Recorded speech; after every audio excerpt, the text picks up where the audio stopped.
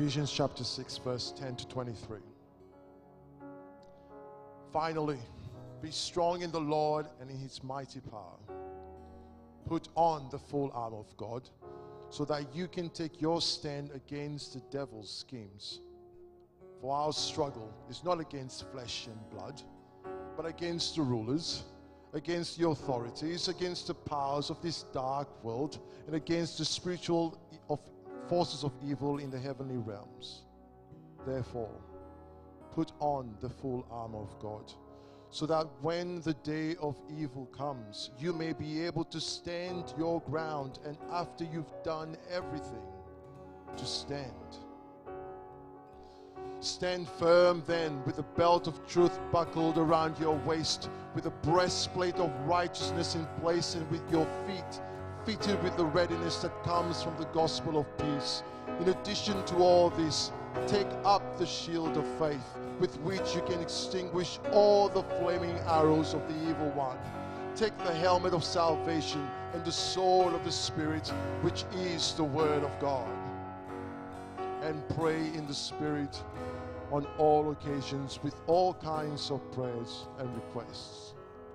With this in mind, be alert and always keep on praying for all the Lord's people. Pray also for me that whenever I speak, words may be given me so that I will fearlessly make known the mystery of the gospel for which I am an ambassador in chains. Pray that I may declare it fearlessly as I should. Tychicus, the dear brother and faithful servant of the Lord, will tell you everything so that you also may know how I am and what I am doing. I am sending him to you for this very purpose, that you may know how we are and that he may encourage you. Peace to the brothers and sisters, and love with faith from God the Father and the Lord Jesus Christ.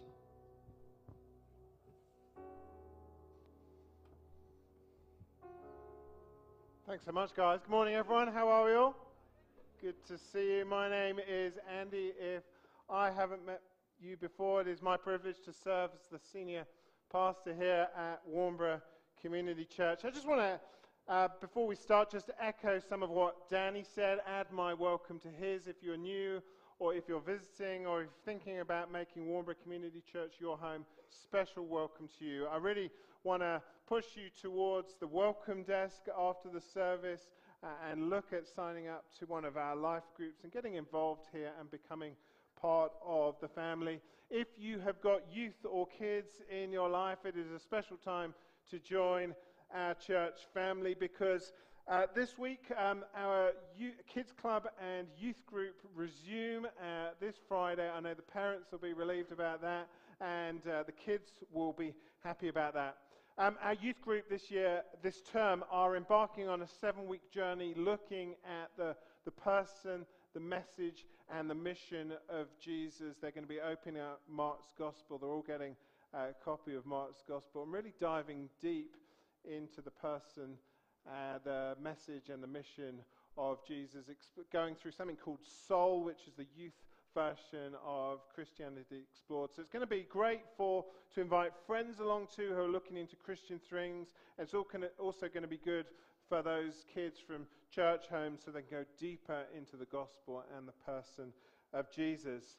I also wanted to share some sad news at this point uh, before the preach, just that we, um, to say that at the end of last term, our youth pastor, Christine Stout, made the decision to resign from her role as youth minister. Uh, we haven't announced that from the front, mainly because it's been the holidays, but wanted just to say, in case you haven't heard, uh, we are sad about that and we are grateful for Christine's ministry. She's just done an incredible work in the youth space, the youth group as has grown, and so we're sad that she's stepping down, but pleased that she's staying remaining along with her family as part of the church family here and part of the community. Um, we celebrated Christine. We, gave, we loved her. We gave her gifts. We prayed for her. Taught the kids what it means to do a gospel farewell in the Christian life just at, at the end of term. But I wanted to let you know, just so that if you have been impacted by her ministry, you can reach out to her and say thank you and show your gratitude and also to ask you to join us in praying for the next youth pastor who will take on that ministry and grow and forward that ministry here at Warnbro. It's just a, a, wonderful place of God's presence and God's favor and God's grace that we are seeing in our youth ministry. So be, please be praying for that as we seek to reach the next, generos- the next generation of Rockingham, next generation of youth with the gospel of Jesus. Uh, the other thing I wanted to say is that next week we are starting a five week sermon series called More Than a Sunday.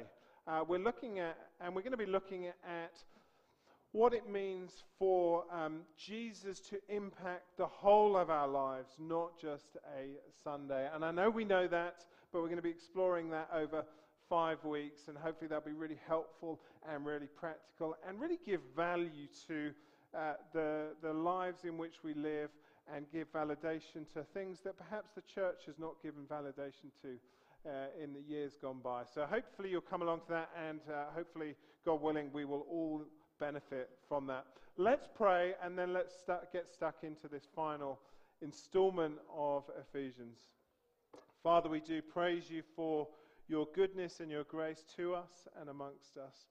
We praise you just for the wonder of being partners in your work, in your world, that you have a plan to unite all things under Christ.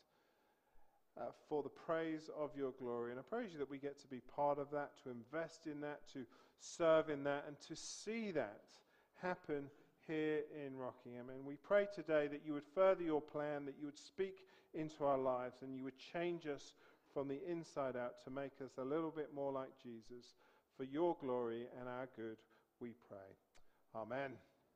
Well, this morning I also want to announce a brand new three week course. Uh, you're welcome to come to it. It is called Ruining Your Faith and Church or RYFC as we like to call it. You could call it a crash course. It is a three week course. Uh, week one, we'll be looking and focusing on ruining relationships. There'll be a, a session on the art of passive aggression, there'll be a breakout on adultery.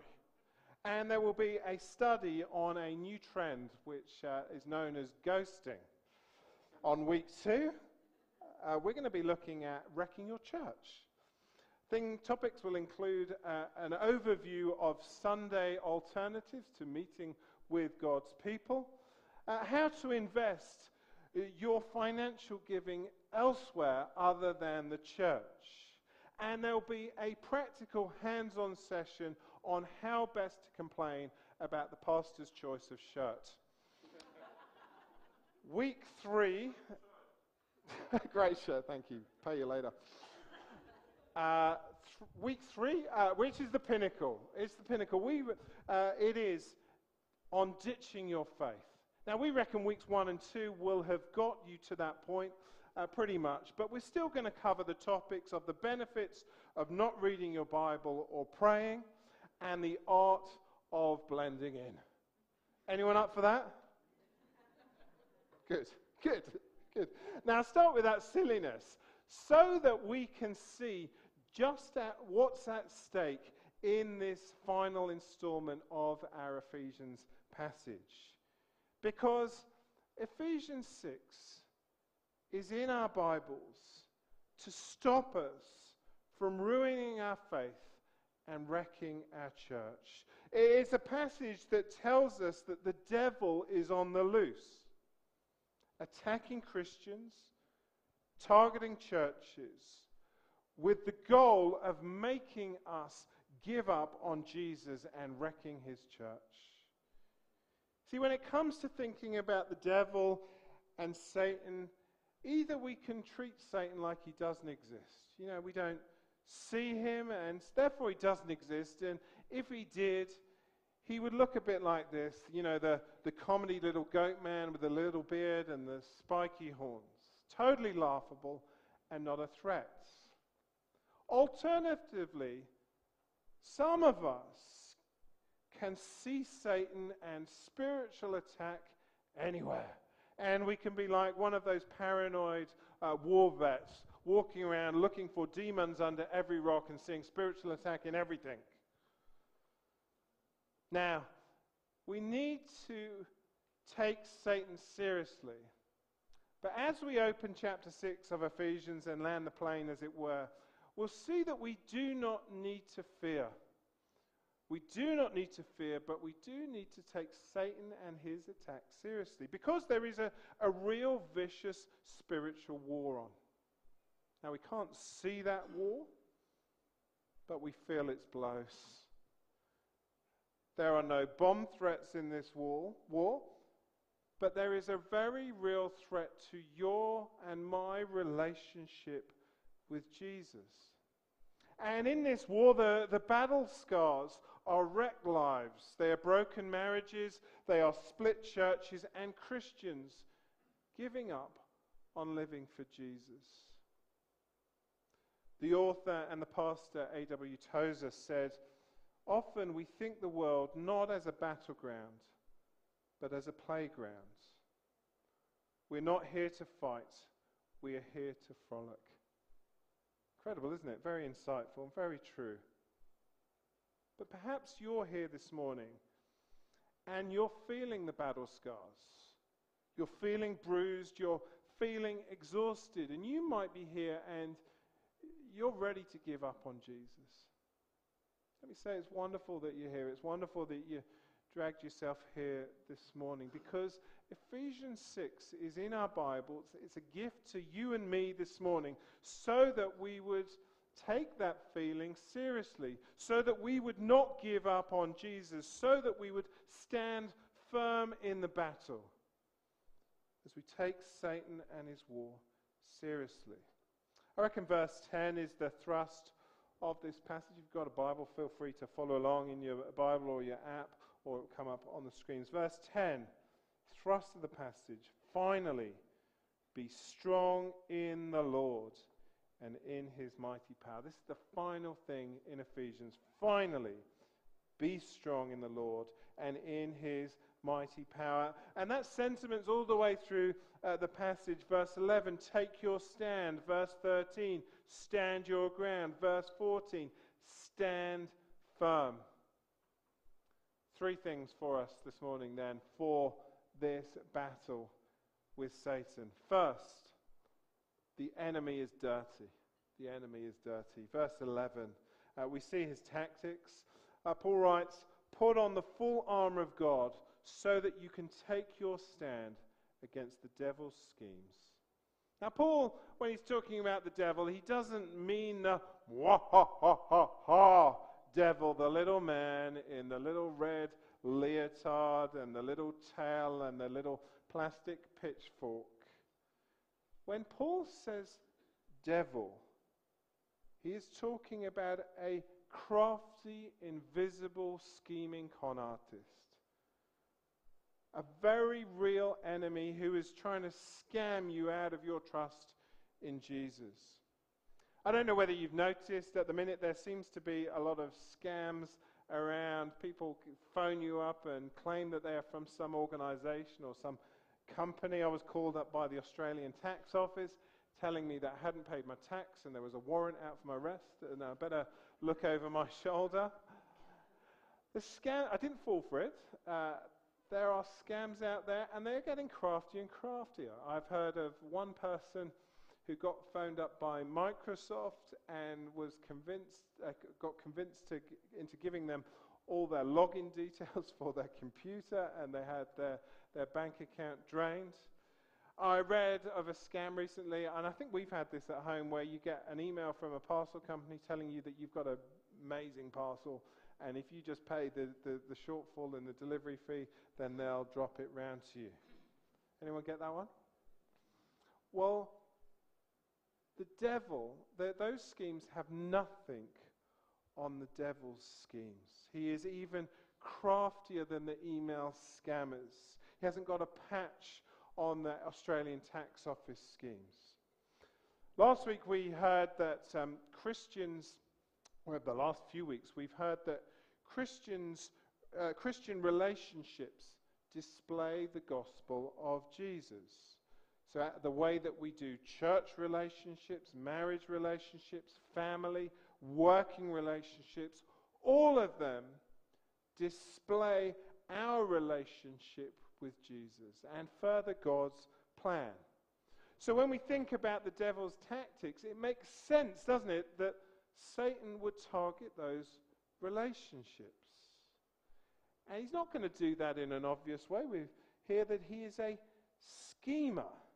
He's a schemer. He is a crafty con artist. So he's not going to target those relationships in an obvious way. He won't stand outside church with a big placard like the, the um, politicians offering us a church split. He is not going to call you up with a, a, an overseas accent claiming to be from the Australian tax office, offering you an extramarital affair. He is crafty and he is invisible.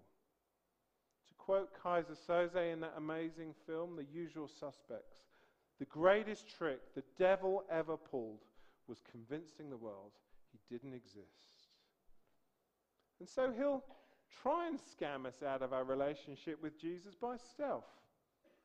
He'll seek to destroy our church, not by having the government ban us or destroying the building, but making us so lukewarm in our love for Jesus and his mission that we just become spiritually impotent and don't care and don't grow. And it will just happen over time. And he'll try and destroy marriages. Uh, not by some obvious means, but by causing the gradual neglect in the relationship over time. And then in introducing exactly the right person at the right moment to exactly the right spouse that will cause them to leave that marriage.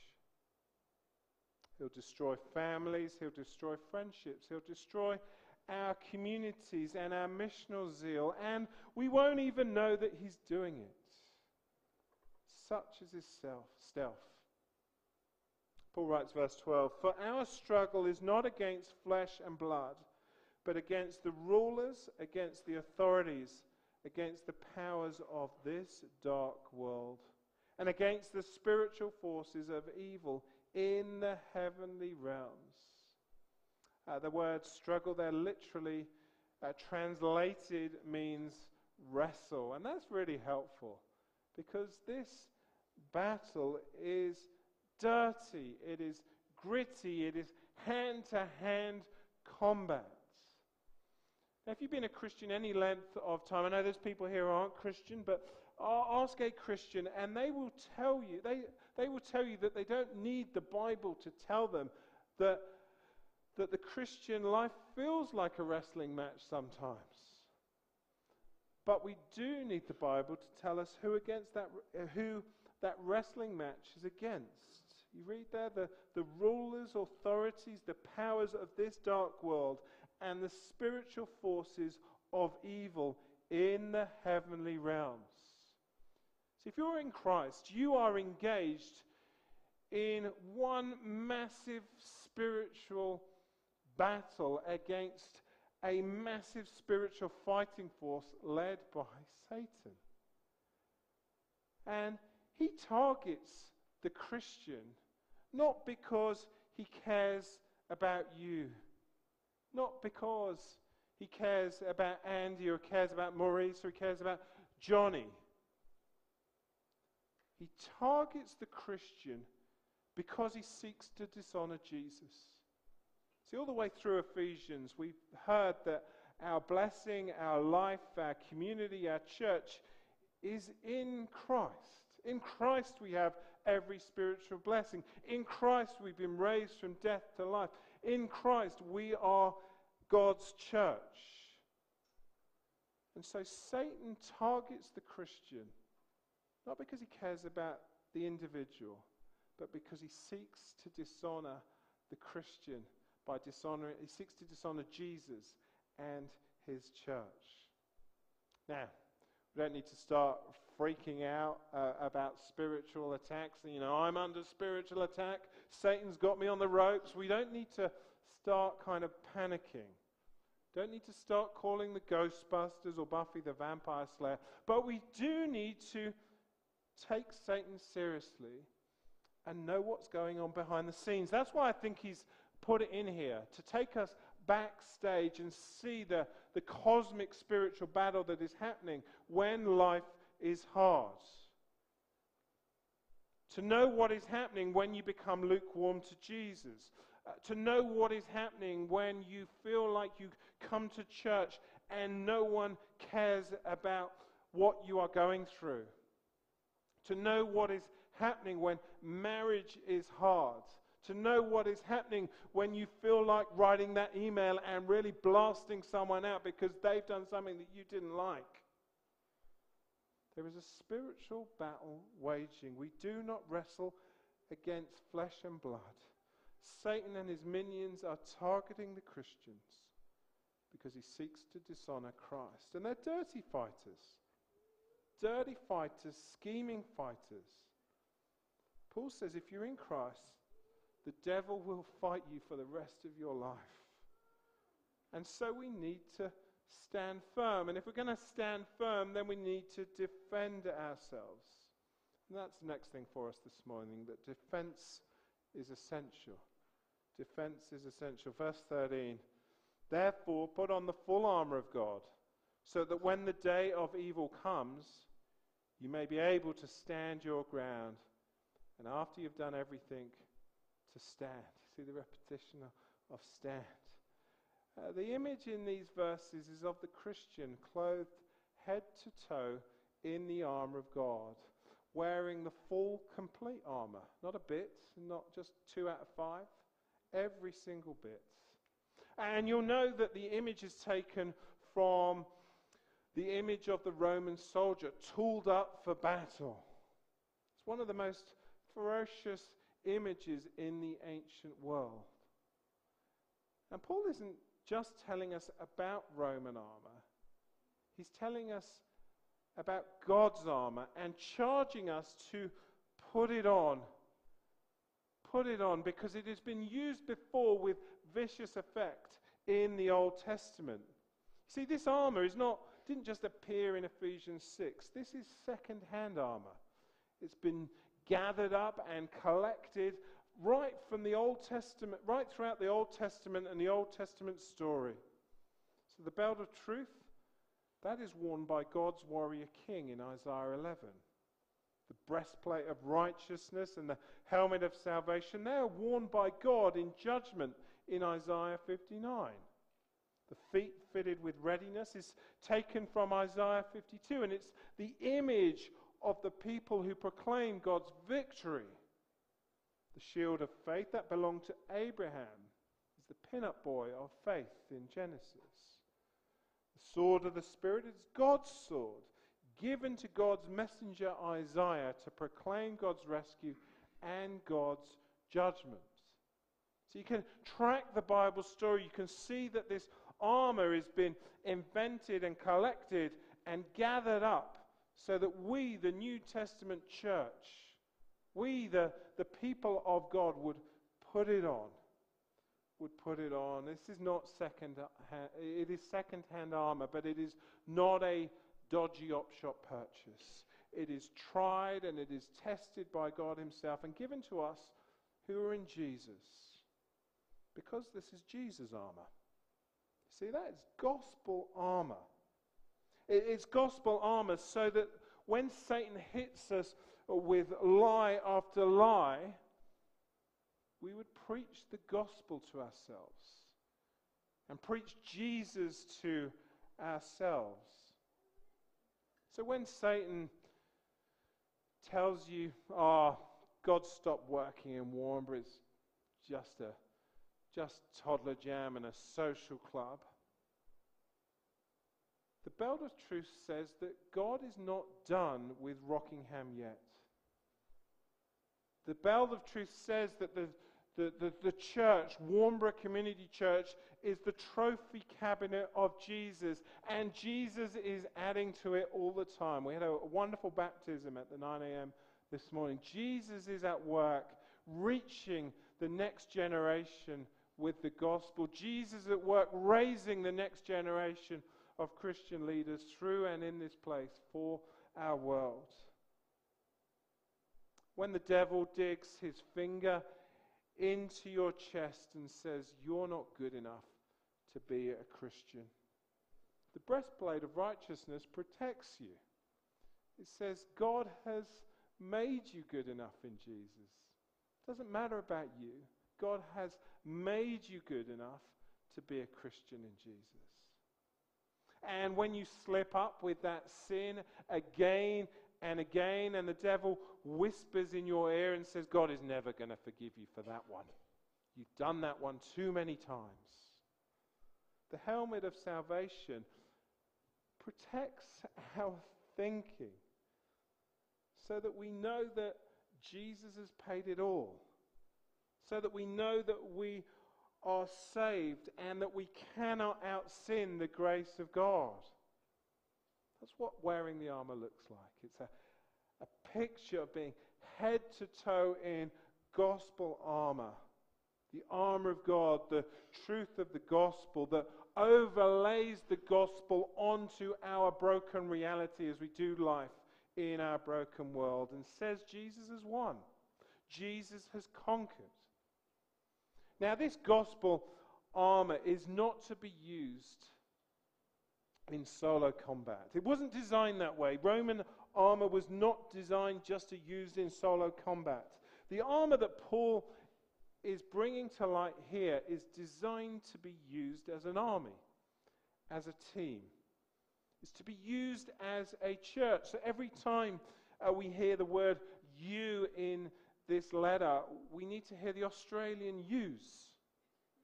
Use, use, use. Put on the armor of God. To put on this armor as a church.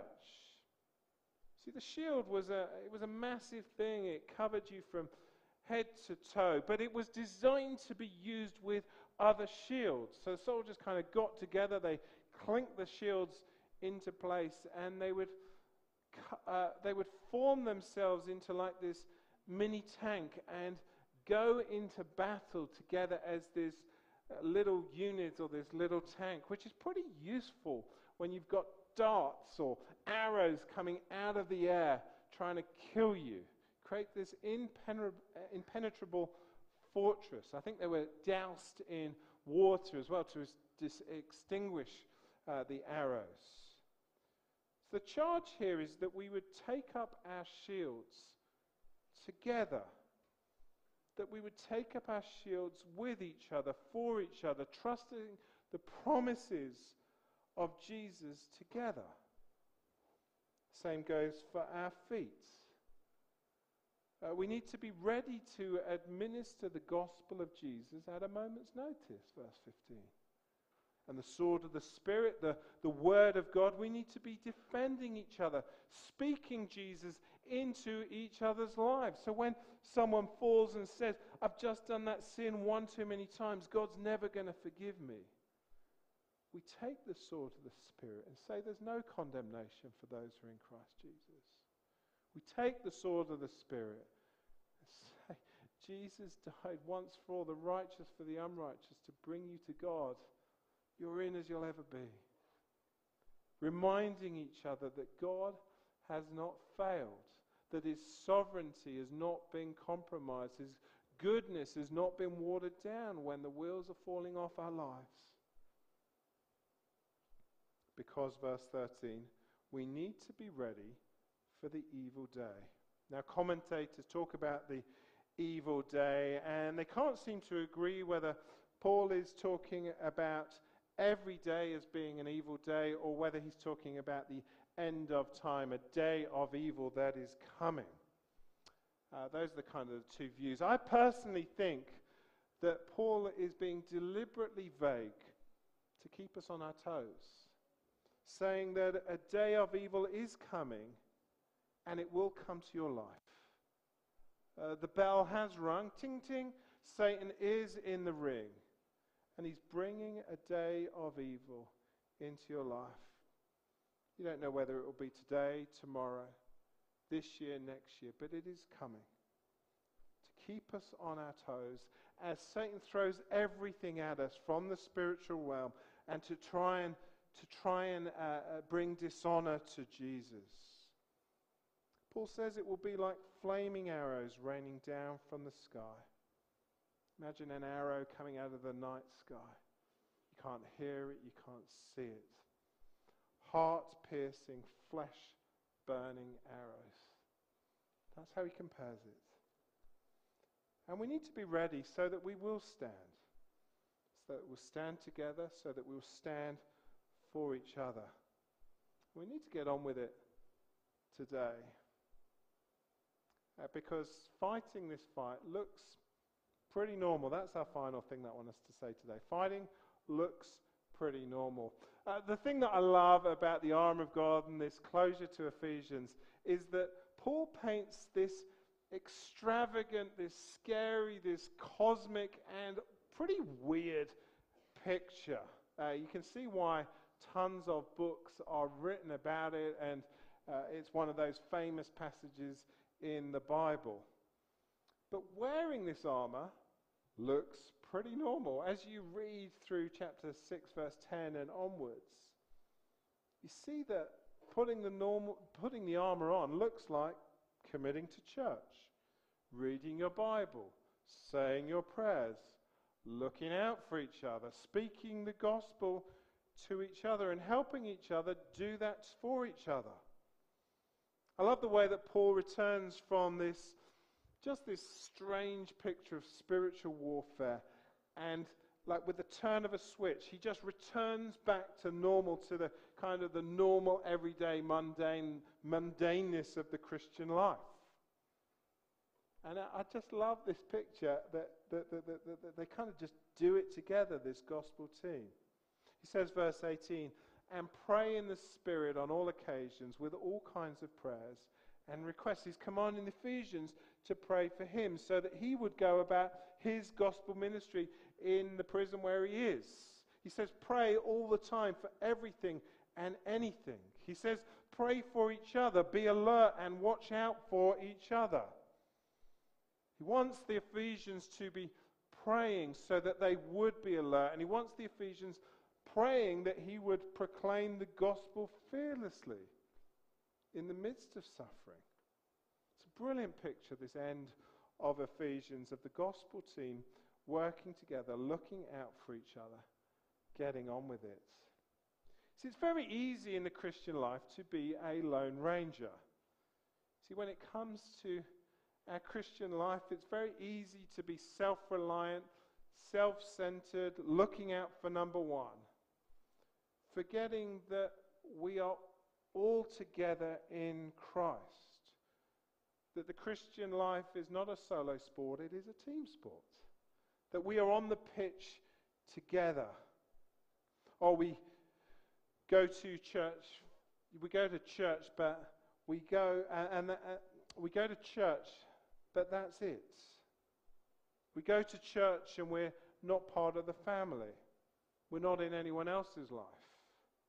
It's easy to treat your midweek group like a Bible class and go to church or go to group when you need a little bit of spiritual top up. But if you're not feeling it, well, I just won't go. It's easy to get into this mindset of just not really bothering with our Bibles that, oh, that's just a bit keen. There's no social kudos for doing something in secret.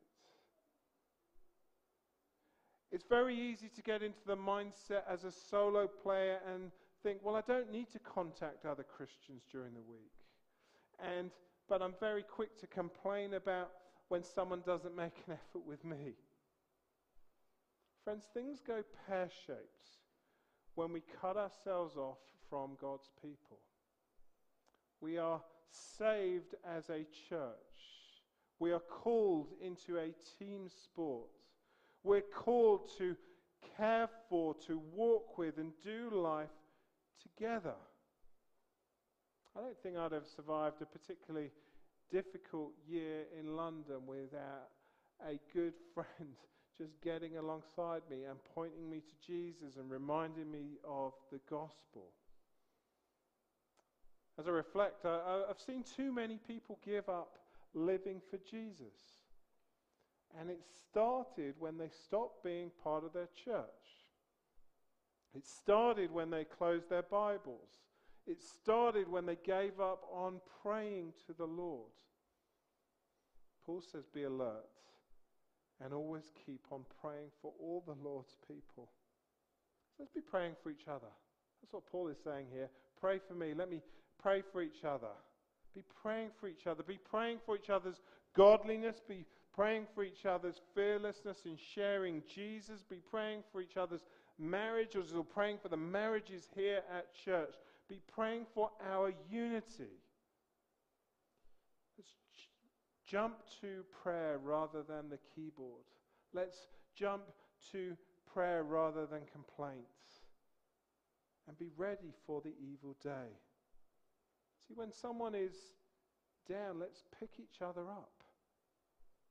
Speaking Jesus into each other's weeks, Facebooking, emailing, doing life together, doing lunch together, asking how is it going in this war.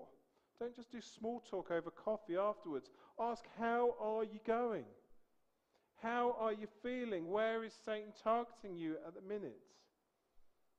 Let me encourage you if, you if you've not committed to this family, if you know that you are just an attender to a service, commit to the family. The door is open, the, the, the, the place at the table is prepared for you. Commit to the family, invest in the family, be on mission with the family. God isn't done with this trophy cabinet that, that is Warnbro Church of uh, Warnbro Community Church. Don't be a spectator. Don't be a passenger. Be part of the family. That's what Paul wants for us. That is what it's going to take to survive this battle and stand firm. Now, when it comes to this letter, it's very easy to leave off the last couple of verses from these letter, verses 21 to 24. But they are a great picture of the church just getting on with life in the normal way. I love it uh, the Apostle Paul has sent Tychicus, verse 21, um, to deliver this Ephesian letter to the Ephesian church. And he's, he sent him at great expense and great risk. So he says, verse 22, I'm sending him to you for this very purpose, that you may know how we are and that he may encourage you. As I reflect back on this whole letter of Ephesians, how we've seen how we have every spiritual blessing in the heavenly realms in Christ as part of God's plan for glory, how we've been raised from death to life, how we've been taken from being strangers to God's promises to inheritors of God's promises because of the work of Christ. I'm massively encouraged. I think that's his purpose. The purpose is Paul's writing this so that he would encourage them and has encouraged me, and I hope it's encouraged you too. I pray that it has. As we take up this invitation to stand in Jesus, to stand together as one in Jesus, to put on the armor of God together as his church, to grow in maturity in Jesus together, to walk as the bride of Christ in God's world together and to stand firm as life throws the kitchen sink at us.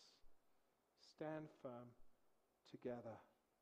And as we do so, we get to watch God do amazing things in this world and in our lives, in us and through us for His glory. Let's pray.